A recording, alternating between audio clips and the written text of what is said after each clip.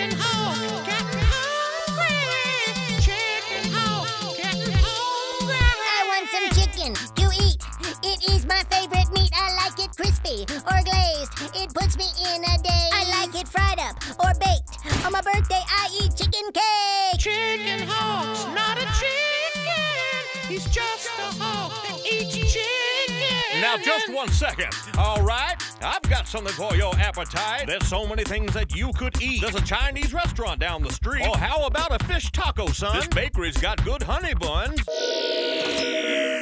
So juicy, so tasty. Hey, chicken, get in my mouth. How about a hot dog with mustard and sauerkraut? No, I want some chicken. No lie, you are my chicken pot pie.